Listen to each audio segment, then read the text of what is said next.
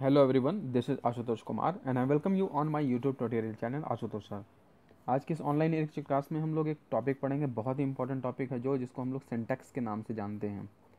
तो आज हम लोग ये जानेंगे कि सेंटेक्स क्या होता है, किस तरह से इसमें हमें चेंजेस करने होते हैं, कैसे इसके रिलेटेड क्वेश्चन आते हैं और क्या इसके रिलेटेड एग्ज़ाम में पूछा जाता है। तो उन सब के बारे में जानने वाले हैं। तो पेन पेपर लेके बैठ जाएँ। सभी लोग स्टडी मोड में आ जाएँ और जो भी चीज़ें आपको कन्फ्यूज़न लगेंगे, उसे आप अपने पास नोट करते जाएँ। वीडियो को पॉज करके आप उसे दोबारा भी देख लिया करें, जो चीज़ मैंने बताई है, अगर क्लियर ना हुई हो आपको तो। और कुछ ऐसे रूल्स मैं बताऊँगा साथ ही साथ एक्स्ट्रा जो इसमें यहाँ पर इस पीडीएफ में नहीं दिया हुआ है। तो आप बहुत ध्यान से वीडियो को देखें, ताकि आपको बहुत सी ऐसी चीज़ें भी क्लियर हो जाएँ कि जो इसमें नहीं मौजूद है, जिस सामने आप इस पीडीएफ में देख रहे हैं जो, इसमें नहीं मौजूद है, वो भी आपको जानने को मिल जाए। जनरली सिंटेक्स का टॉपिक जो है, सभी बुकों में दिया ही होता है, लेकिन बहुत सी चीज़ें क्लियर नहीं हो पाती हैं उस स्टडी मोड को देखते हुए या जो प्रिंटेड होता है फॉर्मेट उसको देखते हुए। तो चलिए शुरू करते हैं कि सिंटेक्स के बारे में जानने के लिए कि क्या होता है सिंटेक्स और कैसे इसे हमें सॉल्व करना होता है, क्या मतलब है सिंटेक्स का। तो सबसे पहले सिंटेक्स की बात करें।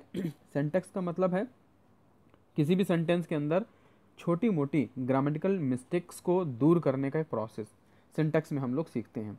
ये सिंटेक्स में आप जब भी कोई सेंटेंस लिखते हैं, उस सेंटेंस में कोई भी नाउन जो दिया है नाउन के साथ ये वर्ब आना चाहिए या नहीं आना चाहिए सिंगुलर में होना चाहिए या प्लूरल में होना चाहिए, उसके साथ हेल्पिंग वर्ब कौन सी लगनी चाहिए, कौन सी नहीं होनी चाहिए, या जो भी प्रीपोजिशन यूज़ है कंजंक्शन यूज़ है तो ओवरऑल पूरे सेंटेंस में जो भी ऐसे छोटे मोटे एरर्स होते हैं, गलतियाँ होती हैं, उनको दूर करने का प्रोसेस हम लोग सिंटेक्स में सीखते हैं।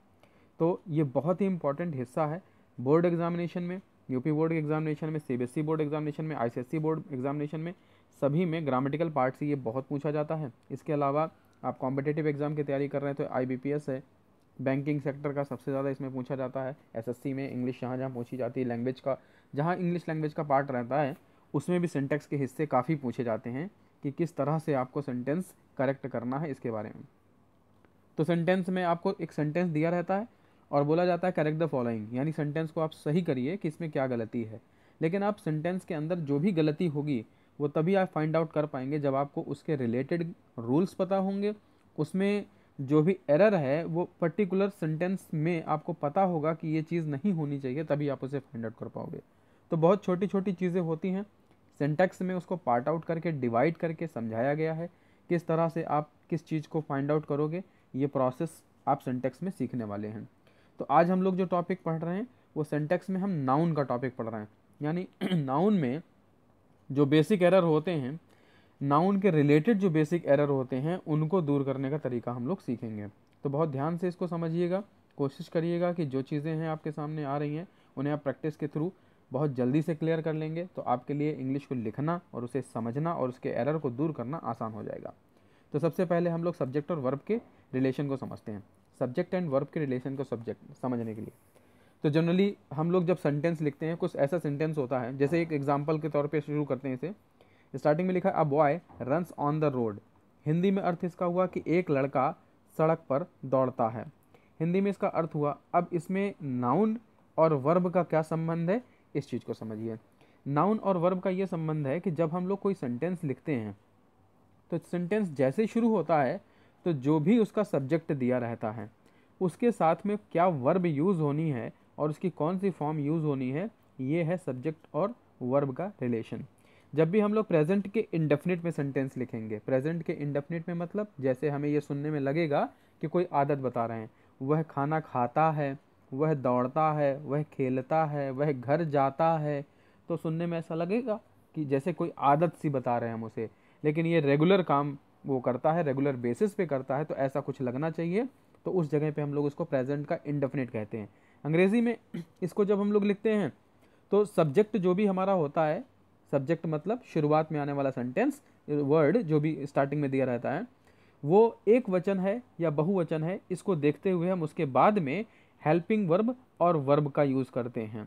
बेसिकली हम लोग वर्ब का यूज़ करते हैं। जब हेल्पिंग वर्ब आती है तो वो एक सिंपल सेंटेंस कहलाता है इंडेफिनिट नहीं कहलाता है। यहाँ पे प्रेजेंट के इंडेफिनिट की हम लोग बात कर रहे हैं।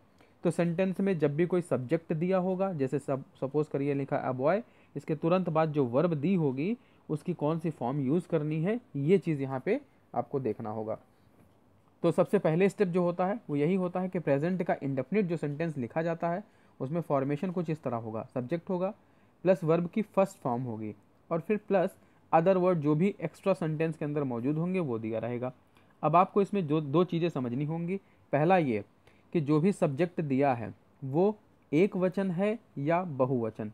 एक वचन मतलब वो अकेला है, बहुवचन मतलब ढेर सारे हैं या किसी ग्रुप को जो है वो प्रदर्शित करता है, उससे पढ़ने में ऐसा लग रहा है कि वहाँ ढेर सारे लोगों की बात हो रही है। तो ये चीज़ आपको समझनी है। जब आप ये समझ जाएँगे, तब आपको दूसरा स्टेप करना है कि सब्जेक्ट अगर एक वचन है, यानी अकेला है तो उसके बाद वर्ब की फ़र्स्ट फॉर्म के साथ में एस या ई एस का यूज़ करते हैं। वर्ब की फ़र्स्ट फॉर्म के साथ एस या ई एस का यूज़ करते हैं। और अगर सब्जेक्ट बहुवचन है, यानी ढेर सारे हैं, जैसे मान लीजिए हम लिख रहे हैं दे, ये दे लिखा है, ये प्लूरल है, ढेर सारे लोगों की बात बताता है, ये वे। तो यहाँ पर जो हेल्पिंग वर्ब आएगी, वो वर्ब की फ़र्स्ट फॉर्म केवल आएगी मेन वर्ब जो भी आएगी, इसके बाद में जस्ट मेन वर्ब की अगर बात करें तो यहाँ पर केवल वर्ब वर्ब की फ़र्स्ट फॉर्म आएगी एस या ई एस नहीं आएगा। तो यहाँ पर ये रोल है कि आपको कब एस या ई एस वाला वर्ब लगाना है और कब एस ई एस वाला नहीं लगाना है। ये चीज़ समझनी है। अब सेंटेंस आपको सामने कोई दे दिया गया, लिखा गया कि अ बॉय रन यहाँ पर देखिए रन्स लिखा हुआ है। ध्यान से देखेंगे तो ये लिखा है रन्स मान लीजिए ऐसा कोई सेंटेंस दे दिया गया, वहाँ लिखा गया रन केवल। तो सेंटेंस में आपको कह दिया कि एरर फाइंड आउट करिए। तो एरर क्या होगा, वो भी समझ लीजिए। जैसे ये सेंटेंस लिखा अ बॉय और इसकी जगह अगर लिखा होता, रन ऑन द रोड तो ये सेंटेंस गलत था। तो यहाँ पे अ बॉय जो है, अकेला है। इसलिए रन के साथ में एस लगेगा, तभी ये सेंटेंस सही होगा। तो ये सेंटेंस कहा जाएगा a boy runs on the road तो इस तरह से ये सेंटेंस सही हो जाएगा। तो इसमें आपको यही चीज़ फाइंड आउट करनी है कि जो सब्जेक्ट है, क्या उसी के अकॉर्डिंग उसके साथ जो मेन वर्ब यूज़ है, वैसे ही है जैसा हम लोग देखते आए हैं। तो ये चीज़ आपको देखनी। तो जब भी सब्जेक्ट सिंगुलर होगा वर्ब की फ़र्स्ट फॉर्म के साथ एस या ई एस जब सब्जेक्ट प्लूरल होगा, यानी ढेर सारे लोगों को प्रदर्शित करना होगा तो वहाँ पे वर्ब की फ़र्स्ट फॉर्म ही केवल लगा देंगे, उसमें एस या ई एस का रोल नहीं लगाएँगे, यानी उसके साथ एस या ई एस नहीं जोड़ेंगे। तो ये चीज़ ध्यान रखनी है। जनरली जो भी हमारे पास सब्जेक्ट दिए रहते हैं, वो जब प्लूरल में होते हैं तो हम लोग जो वर्ब लिख रहे होते हैं, उसमें एस या ई एस लगा के उसे सिंगुलर नहीं बनाते हैं। तो इस तरह की चीज़ें हमें ध्यान रखनी है। सारे एग्ज़ाम्पल में ध्यान से देखेंगे तो पता चलेगा। यहाँ कह रहे हैं ही गोज़ टू स्कूल तो देखिए ही जो है अकेला, किसी व्यक्ति के लिए कहा जा रहा। और फिर कहें कि गोज़ तो गो फ़र्स्ट फॉर्म होती है, इसमें एस या ई एस में ई एस जोड़ दिया जाएगा तो इसलिए सेंटेंस बन जाएगा ही गोज़ टू स्कूल इस तरह से सेंटेंस ये सही होगा। तो करेक्शन आपको यही फाइंड आउट करना है कि अगर कहीं लिखा हो ही गो टू स्कूल तो ये गलत हो जाएगा। जब लिखा जाएगा ही गोज़ टू स्कूल तो ये सही हो जाएगा। यहाँ पर जो सामने एग्ज़ाम्पल देख रहे हैं, ये सिर्फ़ एग्ज़ाम्पल हैं। इस तरह के सेंटेंस को आप अपनी बुक में भी देखें, उसे सॉल्व करें, तभी आप क्लियर कर पाएँगे कि कैसे कैसे सेंटेंस आपको मिलते हैं। जैसे यहाँ ही गोज़ लिखा है, हो सकता है ही की जगह पर कोई नाम दे दे। जैसे सपोज़ कर लीजिए थोड़ी देर के लिए आप यहाँ लिख दें, कपिल गोज़ टू स्कूल तो यहाँ पे कपिल हो गया ही की जगह पर, वो भी अकेला ही कहा जाएगा। तो इस तरह से सेंटेंस में करेक्शन करना है। इसमें करेक्ट द फॉलोइंग सेंटेंस केवल हेडिंग लिख के आता है सेंटेंस जिसे आपको करेक्ट करना होता है। तो उसमें यही फाइंड आउट आपको करना होगा कि करेक्ट क्या करना है हमको। किस पॉइंट ऑफ़ व्यू से इसे देखना है, वो चीज़ समझनी होगी। अब जैसे सब्जेक्ट अगर बहुवचन में हो, यानी ढेर सारे लोगों को प्रदर्शित कर रहा हो तो वहाँ पे वर्ब जो लगाएँगे, वो मेन वर्ब होगी केवल फ़र्स्ट फॉर्म में। बाकी सेंटेंस में कोई भी हमें एरर नहीं ढूंढना है। इसमें सेंटेक्स में एक चीज़ आप ध्यान रखें, इसमें स्पेलिंग का कोई एरर नहीं दिया जाता है। आपको केवल और केवल ग्रामेटिकल एरर को ही फाइंड आउट करना होता है। एसएससी और आईबीपीएस के एग्जामिनेशन में ये चीज़ पूछी जाती है। कि इसमें आपको कोई भी स्पेलिंग एरर नहीं फाइंड आउट करना है। केवल और केवल यहाँ पर ग्रामेटिकल एरर को ही दिखाना होता है कि क्या ग्रामेटिकल एरर है इसमें। बोर्ड एग्जामिनेशन में भी सेम पैटर्न रहता है ये। अब नेक्स्ट सेंटेंस में भी देखिए, यहाँ पे बॉय एक था, लेकिन उसको एस लगा के प्लूरल कर दिया गया यानी ढेर सारे बॉय की बात कर रहे हैं। तो ढेर सारे बॉय के बाद में गो लिखा हुआ है। इसको गो के साथ ई एस नहीं जोड़ा गया है, यानी गोज नहीं किया गया तो इस तरह से सेंटेंस में हमें इसे एरर को दूर करना है। तो जब भी कहीं सेंटेंस हमें मिल जाए बॉय यानी ऐसे लिखा हो, मान लीजिए लिखा है बॉय और फिर लिखा है गो और फिर लिखा टू स्कूल तो ये गलत है, क्योंकि ना तो ये बॉय जो है प्लूरल है और ना ही ये प्लूरल के हिसाब से लगा हुआ है। तो दोनों ही चीज़ें यहाँ पे हैं। अगर सेंटेंस में ये चीज़ प्लूरल होगी, तभी ये फ़र्स्ट फॉर्म में लिखा जाएगा। अगर ये सिंगुलर होगी तो इसमें एस या ई एस जोड़ दिया जाएगा।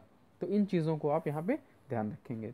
तो जनरली ये चीज़ होती है कि जो नाउन हमें दिया रहता है वो सिंगुलर होता है तो उसमें एस या ई एस जो है नहीं लगा होता है। यानी अगर मान लीजिए कहीं बॉय लिखा है तो बॉय में एस या ई एस नहीं लगा है तो मतलब ये सिंगुलर है। और सेम चीज़ अगर वर्ब में है सपोज़ उसमें एस या ई एस नहीं लगा है तो वो प्लूरल है। एस या ई एस लगाने के बाद उसे सिंगुलर बनाया जाता है। तो ये वर्ब और सब्जेक्ट में थोड़ा सा चेंज होता है। एक बात फिर से समझ लीजिए इस बात को, कि जब भी कोई नाउन है, यानी किसी का नाम है नाउन जिसे हम कहते हैं, वो नाम होता है किसी का। तो अगर वो ऐसे सिंपली लिखा है, उसमें एस या ई एस नहीं लगा है तो ये एक वचन को शो करता है। और उसमें अगर एस लगा हुआ है लास्ट में तो इसका मतलब यह बहुवचन को शो करता है। हालाँकि सब जगह ऐसा नहीं होता है, जनरली आप ऐसा देखेंगे। और वर्ब जो है, वो जब एक वचन में होगी तो उसमें एस या ई एस लगा हुआ होगा। और जब वो बहुवचन में होगी तो एक सिंगुलर ऐसे ही लिखा जाएगा मेन वर्ब लिखा जाएगा, उसकी फ़र्स्ट फॉर्म लिखी जाएगी। तो इस तरह से हमें ये लिखना होता है। आप ये सारी चीज़ें यहाँ देख कर ये पढ़ सकते हैं कि जैसे देखिए बॉय को चेंज करके बॉयज़ में करा तो ये सिंगुलर था, इसे प्लूरल ऐसे बना देंगे। फिर इसी तरह से मैन लिखा है तो उसमें कुछ वैसे वर्ड्स होते हैं जिसमें इंटरनल चेंजेस करके हमें उसे प्लूरल बनाना होता है, जैसे एम ए एन मैन और एम ई एन मैन तो ये प्लूरल कहलाता है। बॉक्स लिखा ढेर सारे तो इसमें ई एस देखिए जुड़ गया बॉक्सेस इस तरह से ये प्लूरल बन गया। तो इसमें जो भी नाउन हैं, उनको प्लूरल इस तरह से बनाया। अब जो वर्ब हैं, उन्हें सिंगुलर बनाना है। ये सारे के सारे जितने भी यहाँ सिंगुलर दिए हुए हैं, पहले से देखिए। तो आप इधर वाला सिंगुलर देख रहे होंगे, लग रहा होगा। तो ये रिवर्स में आप समझ लीजिए कि ऐसे यहाँ पर जो दिखेगा, वो ऑलरेडी प्लूरल है। तो इसे सिंगुलर बनाने के लिए एस ई एस लगाना है मैं फिर रन लिखा है, उसको सिंगुलर बनाने के लिए एस लगा दिया। सिंग लिखा है, उसमें सिंगुलर बनाने के लिए एस लगा दिया। तो इस तरह से हमें चेंजेस करने हैं। तो सेंटेक्स में आपको आई होप कि इस तरह के जब भी एरर पूछे जाएँगे तो आप दूर कर पाएँगे उसे कि क्या चीज़ें हमें चेंजेस उसमें करनी है।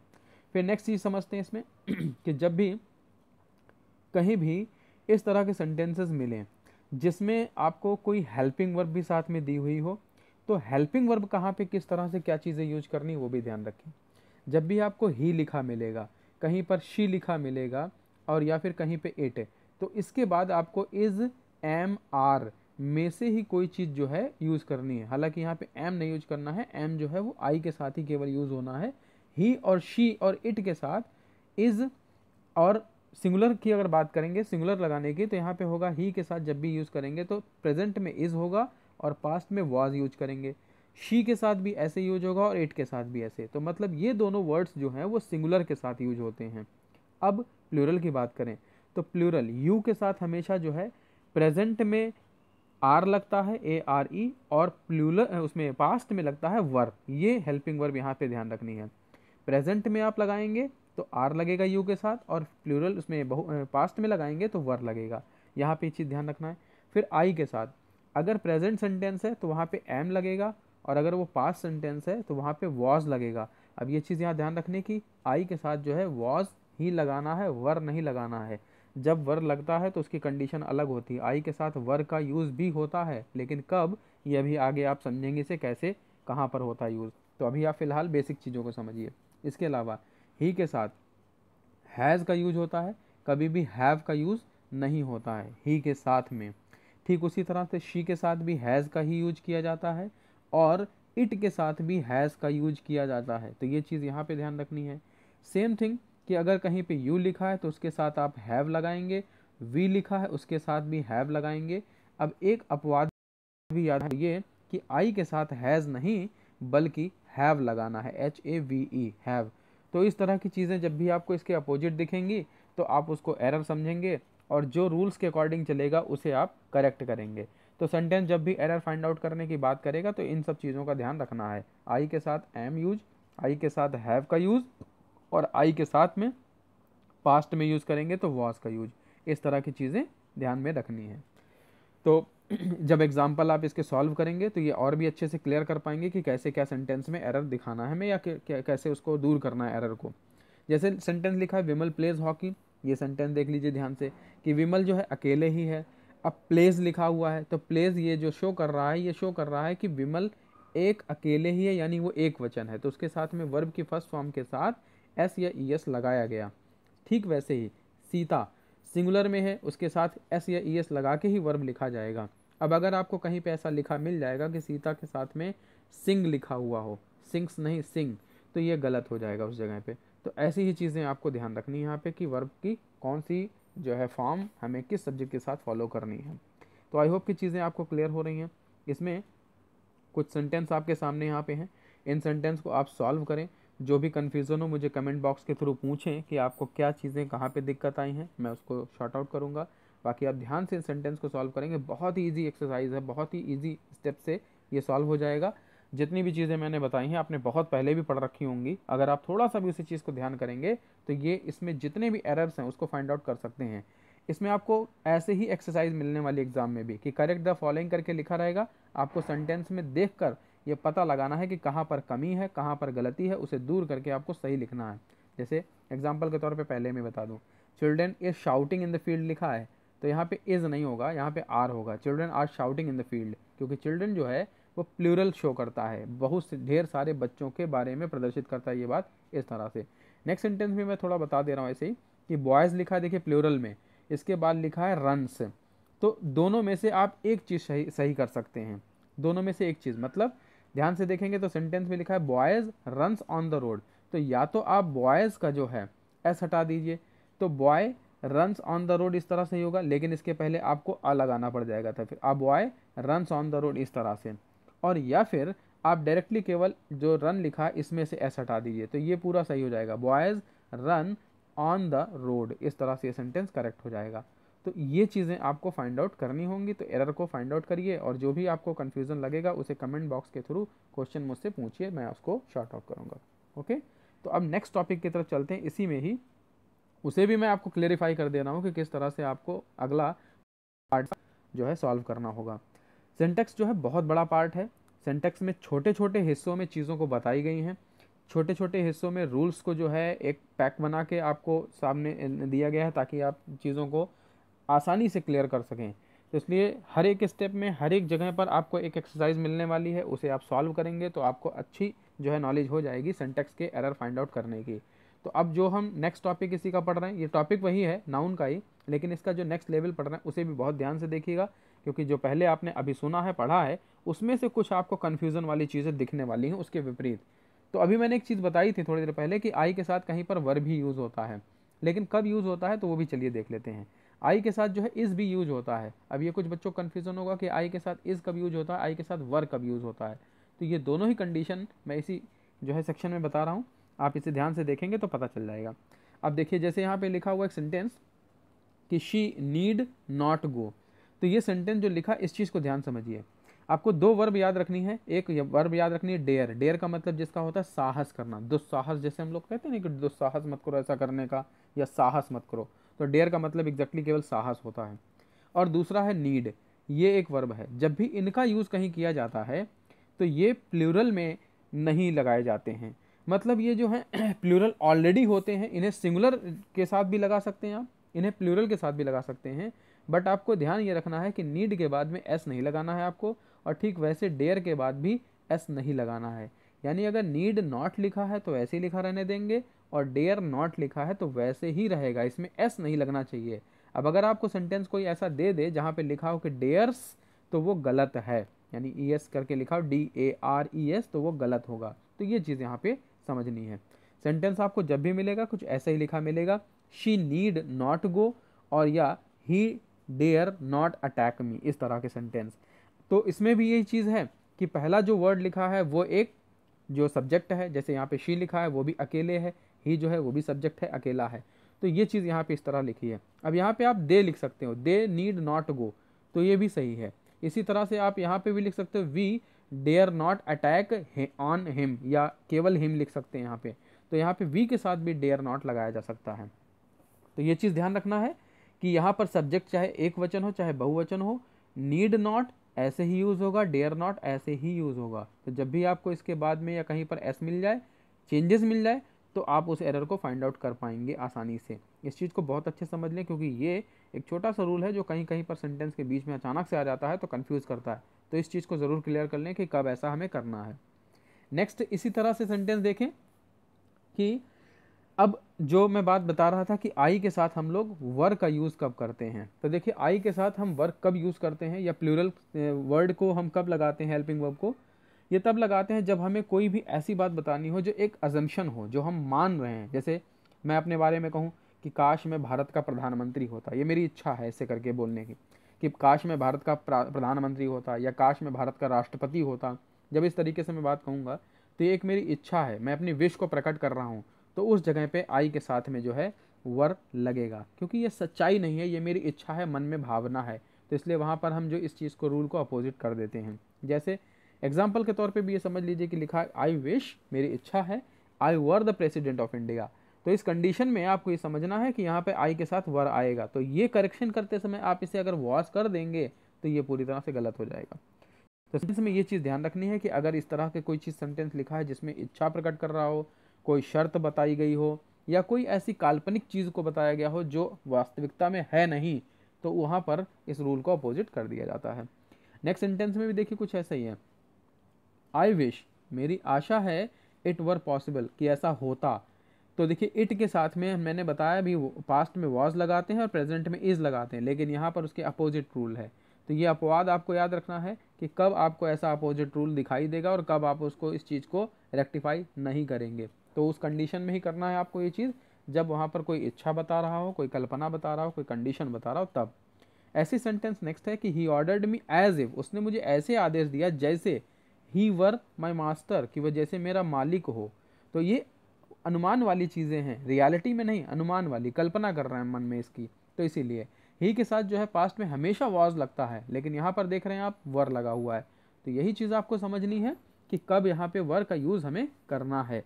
तो बहुत ही ध्यान से समझिए ये पॉइंट क्योंकि ये सबसे ज़्यादा कन्फ्यूज़ करता है। सेंटेक्स का पार्ट जो होता है छोटी छोटी चीज़ें होती हैं वहाँ पर। सेंटेंस में आपको कभी ये नहीं कहा जाएगा कि आप उसमें नाउन वाला एरर फाइंड आउट करिए प्रीपोजिशन का एरर फाइंड आउट करिए, या फिर कहीं पे आपको ये नहीं कहा जाएगा कंजंक्शन का एरर फाइंड आउट करिए, या कोई और। आपको सिंपली सेंटेंस दिया रहेगा, चार से पाँच सेंटेंस दिए जाएँगे, हो सकता है वो मिक्स मैच करके दे दिए जाएँ कि किसी में आप देखो तो उसमें नाउन का एरर हो, कोई दूसरा सेंटेंस आप देख रहे हो सकता है वहाँ प्रेपोजिशन का एरर हो, कोई तीसरा सेंटेंस आप देख रहे हो सकता है वहाँ पे कंजंक्शन का एरर हो। तो आपको तुरंत पिक करना होता है, उस सेंटेंस में किस पार्ट में एरर है, किस जगह पर एरर है। तो इसके लिए आपको छोटे छोटे रूल्स पता होने चाहिए। दूसरा प्रैक्टिस होनी चाहिए उस सेंटेंस की, तभी आप इसे फाइंड आउट कर पाएँगे। तो नेक्स्ट सेंटेंस में भी ऐसे कह रहा है इफ़ आई वर यू यदि मैं तुम्हारी जगह होता, यदि मैं तुम होता तो आई डू इट तो मैं ये करता। तो इच्छा कर रहे हैं कि अगर मैं तुम जगह तुम्हारी जगह होता या तुम्हारी स्थान पर होता तो मैं ये करता। इस तरह की बातें। तो यहाँ पर ये चीज़ आपको आई होप कि समझ में आ गई होगी कि किस तरह से हमें यूज़ करना है वर का। यानी कोई भी वर ज़रूरी नहीं है, कोई भी चीज़ें आपको और भी मिलेंगी लेकिन ये इच्छा की बात कर रहे हैं। यहाँ पर बेसिकली आपने जो चीज़ें देखी हैं, इसी तरह की इच्छाओं को प्रकट करने के लिए आई के साथ जो है वर का यूज़ किया जाएगा। इस चीज़ को आप समझ लें ध्यान से। ठीक है? नेक्स्ट अब इसी पार्ट में समझते हैं कि अगर कहीं पर कोई भी सब्जेक्ट इस तरह का दिया हो कि जो एक सिंगुलर सब्जेक्ट है तो उनके साथ में सेव लिव ब्लेस ये तीनों जो होते हैं, हमेशा सिंगुलर सब्जेक्ट के साथ ही यूज़ किए जाएँगे। इन्हें कभी प्लूरल के साथ यूज़ करना है। जैसे दे सेव, इस तरह से सेंटेंस नहीं होगा। सेंटेंस कुछ इस तरह से होगा कि गॉड सेव द किंग भगवान ने किसी जो है राजा की जान बचाई या राजा की रक्षा की। Long live Indo Soviet friendship कि इंडो और सोवियत की जो फ्रेंडशिप है, दोस्ती है, मित्रता, वो जो है लंबे समय तक रहे, इस तरह से। फिर उसके बाद लॉर्ड ब्लेस यू ईश्वर आपको जो है आशीर्वाद दे। इस तरह की बातों पर यहाँ पर ये जब भी वर्ड्स आपको मिलेंगे, इनको हमेशा सिंगुलर सब्जेक्ट के साथ यूज़ करना है। तो कहीं पर ये सब्जेक्ट अगर प्लूरल मिल जाए, या फिर इसको कहीं पर एस या ई एस लगा के प्लूरल बनाया जाए तो वो गलत होगा। तो इस चीज़ को आप यहाँ पे ध्यान रखेंगे। अब इसके रिलेटेड भी आपके सामने एक एक्सरसाइज है, इसको सॉल्व करके ट्राई करें, देख। लें अगर आप इसे सॉल्व आसानी से कर पाते हैं तो आई होप कि आपकी प्रैक्टिस अच्छे से हो गई है। और अगर आपको कोई कन्फ्यूज़न आता है इस किसी सेंटेंसेज में, यहाँ पर जितने भी दिए हुए हैं तो आपको दोबारा से इस वीडियो को देखने की ज़रूरत है। दोबारा से इस पॉइंट को प्रैक्टिस करने की ज़रूरत है। बाकी इसके अलावा अगर आप इसके प्रैक्टिस सेट और भी सॉल्व करना चाहते हैं और क्वेश्चन सॉल्व करना चाहते हैं तो इस वेबसाइट पर विज़िट करें। इस वेबसाइट पे आपको इसके प्रैक्टिस सेट मिल जाएँगे और जो मॉक टेस्ट पेपर के तौर पे भी आपको यहाँ पर जो है सीरीज़ मिल जाएगी, उसे सॉल्व करें। उसके थ्रू आप अच्छे से प्रैक्टिस कर पाएँगे। जिस पीडीएफ को आप इसके पीछे देख रहे हैं वीडियो में, इस पीडीएफ को भी डाउनलोड करने के लिए आप इस वेबसाइट पर विज़िट कर सकते हैं। तो ओके थैंक यू क्लास की आई होप कि आज आपको सारी चीज़ें क्लियर हुई होंगी। नेक्स्ट ई लर्निंग सेशन में इसके नेक्स्ट एपिसोड के साथ फिर मिलेंगे। तब तक के लिए stay happy stay safe and keep watching Ashutosh channel